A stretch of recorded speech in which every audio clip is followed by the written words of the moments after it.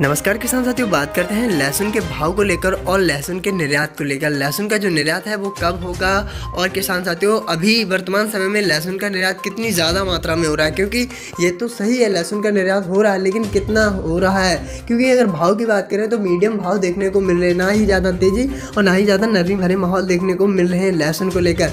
किसान साथियों, अभी वर्तमान समय में जो रेट है, इससे आने वाले समय में हल्का सा इजाफा हो सकता है मतलब हल्की सी तेज़ी आने की ज़्यादा चांस नज़र आ रहे हैं। लेकिन किसान साथियों, फिर भी आप, आपकी फ़सल है, आप अपने निर्णय खुद के विवेक से ही लें तो अच्छा होगा किसान साथियों, क्योंकि आपको फ़सल बेचनी है। और किसान साथियों, अगर बात करें निर्यात की तो निर्यात अभी की अपेक्षा आने वाले समय में हल्की सी ज़्यादा मात्रा में हो सकता है। निर्यात पर हल्का सा हल्का जो असर डाला जा सकता है मतलब ज़्यादा निर्यात हो सकता है। तो अगर ज़्यादा निर्यात हुआ तो हल्की सी तेज़ी आने की फुल संभावना बनती हुई नज़र आ सकती है। किसान साथियों तो ऐसे में किसान साथियों, अभी जो भाव हैं, वो हल्के से मीडियम साइज़ के देखने को मिल रहे हैं। लेकिन आने वाले समय में अच्छी खासी पकड़ भी देखने को मिल सकती है और क्या पता कि सांसद यही भाव भी देखने को मिल सकता है।